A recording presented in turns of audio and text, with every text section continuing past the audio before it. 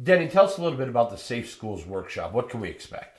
Well, as the title implies, it's very proactive, embracing diversity, making our schools safe for all students. We take a very proactive approach to creating a positive climate where kids are going to feel safe and be treated with respect. And don't get me wrong, that doesn't mean when bullying happens, we're not going to deal with it, and we'll deal with it in no uncertain terms. But there are a lot of things that we can do to avoid that.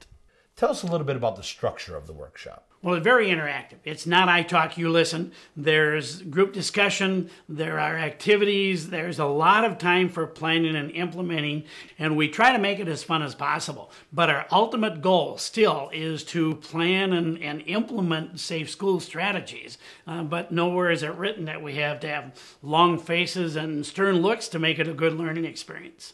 And we're all busy, but once we get everyone on board, it's not going to take as much time as we might think. So, what is the overall concept of the workshop? What, what can we expect to learn? Well, first of all, we look at a historical perspective of our fight for equality.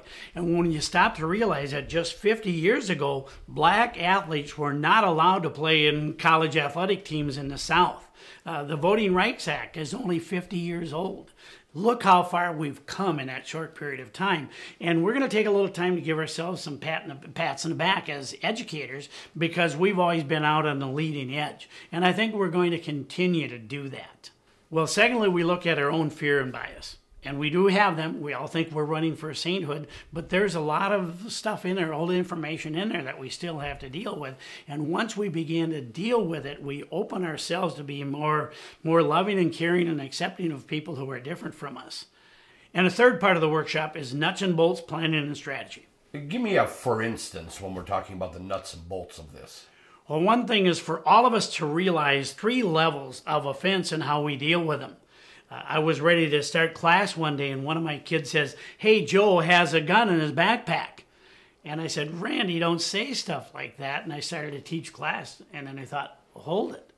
I need to deal with this. So I said, You two come out in the hall. When we got out in the hall, I said, Randy, I think you were joking, but by law, I have to call security. I have no choice. He said, I was just kidding. Go check his backpack. So I went down to check his backpack and I thought, no, no, that's not my job. I wait for security.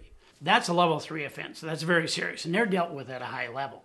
Level one is that stupid little things that kids say we've all done it you know make that make that slip of the tongue and if we don't think there's malicious intent we can handle that right on the spot something like you know that that kind of remark hurts a lot of people and i don't want to hear that in my classroom or I know you meant that to be funny, but that hurts a lot of people. We don't do that in our school. One day in class, two kids were working together, and one of them made a kind of a derogatory comment about Asians. And I said, That's not acceptable in my class. The next day, I addressed the entire class. I said, Yesterday, I heard a, a comment against a certain race, and you know something? That's really not what we're all about here at Tech High School. That's level number one. We can handle that on our own. But if that persists, that becomes harassment, and a disciplinary referral is in order. So, in a nutshell, it sounds like this is all about getting everyone involved. Now, I know you like quotes. Do you have a, a quote that kind of sums this up for us? Well, I do. It's all about courage. When you see something, when you hear something, do something. Elie Wiesel summed it up nicely. I swore never again to be silent when human beings endure suffering or humiliation. We must always take sides. Neutrality helps the oppressor, never the victim.